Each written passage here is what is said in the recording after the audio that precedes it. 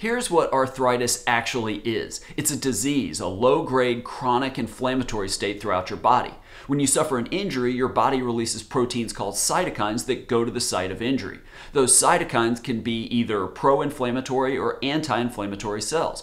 When there's an abundance of pro inflammatory cytokines, they cause tissue damage in whatever part of the body that is, like the knee or hip. If you're out of balance in a chronic inflammatory state, poor diet, chronic stress, and more, those pro inflammatory cytokines start recruiting degradative enzymes.